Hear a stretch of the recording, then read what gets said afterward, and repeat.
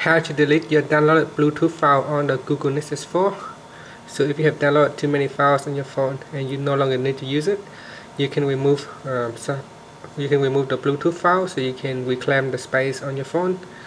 Now first go back to your home screen by tapping on the home key and then choose settings. In settings go down to storage under the device section. Then on the last option here tap on miscellaneous and tap on Bluetooth. So the, choose the checkbox there.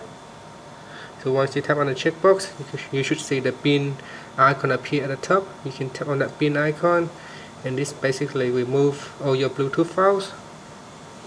So we go back to the home screen go to settings go to Bluetooth tap on the menu icon at the bottom and tap on show receive files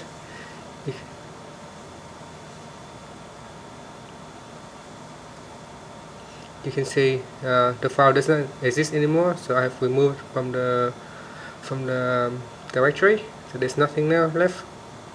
So just tap on the home key to finish. Thank you for watching this video. Please subscribe to my channel for more video tutorials